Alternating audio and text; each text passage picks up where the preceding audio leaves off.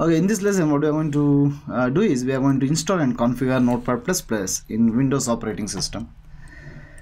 So, like you download any other software, just type Notepad++ download, and you'll find in one other website, and we'll download Notepad++.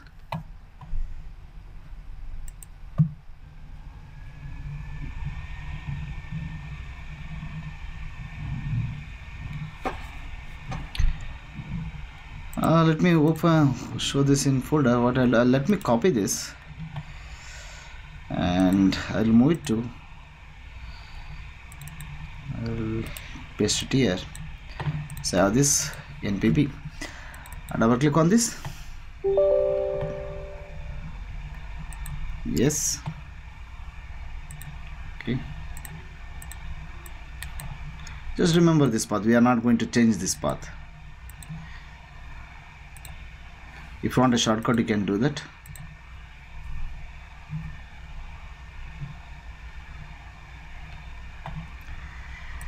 You know to run now itself finish.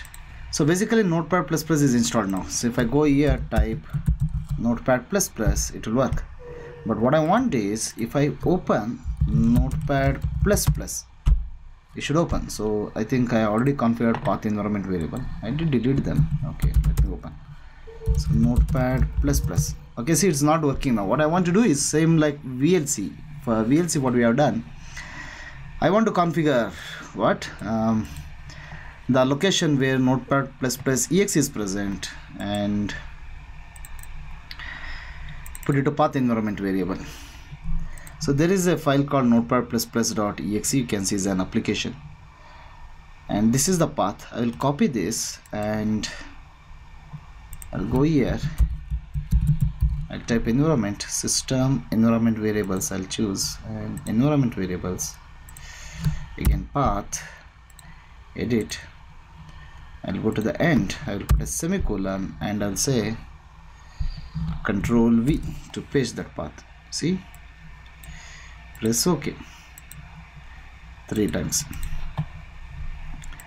now if I go here and again see one more thing you have to understand. Now also it will not work. The reason is because this command line window is open with the previous environment variable values. So I'll close this and I'll type cmd leave open that and now I type.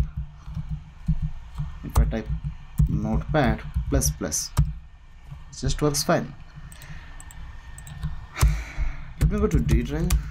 Vinay now notepad plus plus. Notepad plus plus the file which I add. So we can use now notepad plus plus for our uh, java development. See be aware we are not going to use eclipse and to do java development because i want the fundamental things should be uh, set very clear so we'll use simple text editor like either notepad or sublime. Even notepad will do but this is recommended. And down the line in our development journey i make sure that you will also become expert in eclipse okay? When that point comes we'll discuss about that. And there's one last step is pending. I am very lazy to write notepad every time. So what i want to do is i just want to what um, if i just type n notepad should open it is happening for me. The reason is because what I did I uh, let me delete this. It was not there earlier. In your system it will not be there. A simple thing which I have done I copied this notepad plus plus and pasted it here.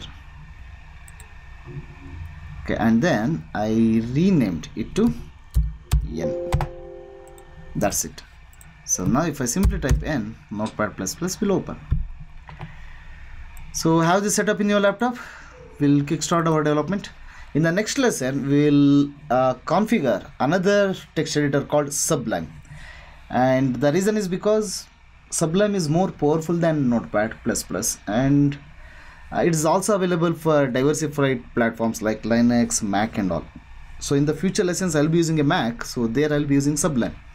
And it's totally your choice whichever the text editor you want to use